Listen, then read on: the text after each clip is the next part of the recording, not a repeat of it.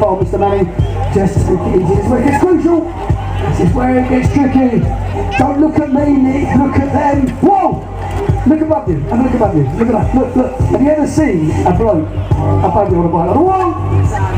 Looking tricky. Your friends getting nervous, dropping off to the side. Give him a round of applause. Good efforts. Hang on, hang on, hang on. We haven't finished yet. It shows you how much trust you've got to have on your bike. You guys, Yeah. do you want Joe to have a go? Did you miss it?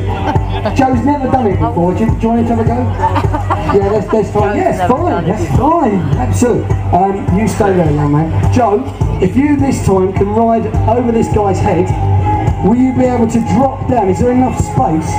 No. How much do you need? How many metres is it? Four, four to five? We'll just measure the safety gap. One, two, three. Uh, right. Uh, okay, so he's tried. He's done this a thousand times in practice. Right.